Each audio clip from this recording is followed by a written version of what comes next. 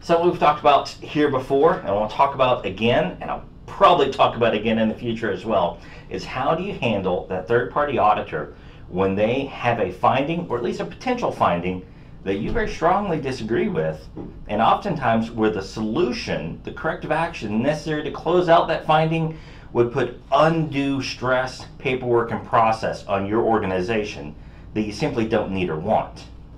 I'll tell you, what you don't do for certain is argue with them on the merit of the finding.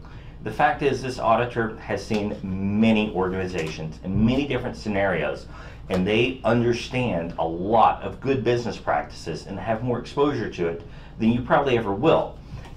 That's a good thing. So, this is definitely something to learn from when you see your auditor taking you down one of these trails. But the objection that you want to have to those findings is provide me the evidence in the standard.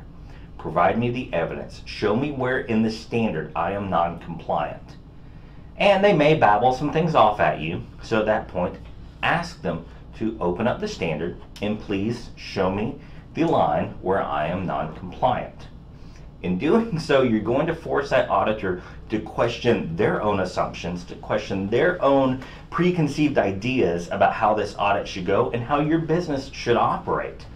And also, in doing so, you're forcing the auditor to do what their job is, which is to audit you against the standard and not to provide consultation. Don't discount the auditor's opinion here. You may very well want to continue discussing this after the audit is over. But you do want to ensure that none of your findings in that audit are because of this consultative idea that the auditor has, but instead expressly because the standard has a nonconformity uh, against it.